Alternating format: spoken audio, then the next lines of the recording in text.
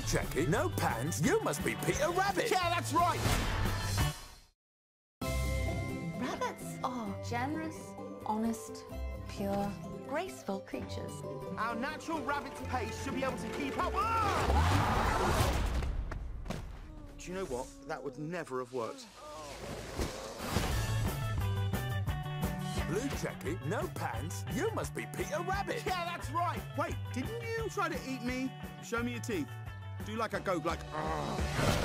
It was you. I knew it. How are you? So good to see you. Hey, hey, hey! You wanna go slowly into the city? I can't think of one thing that could stop our fun. Down to the Pueblo, Arizona, New Mexico. Humans coming! Tacos, harmonicas, oh, oh, oh. Run! Uh, this way.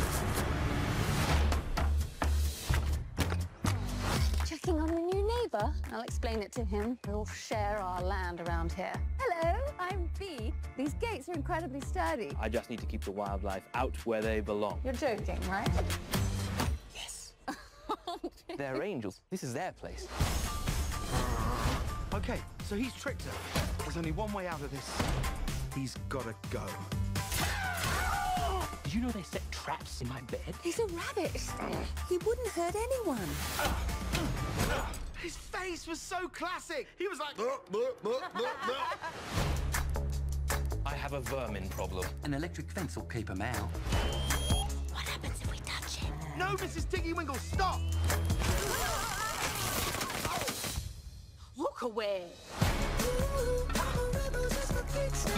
We can't give up. It's our home.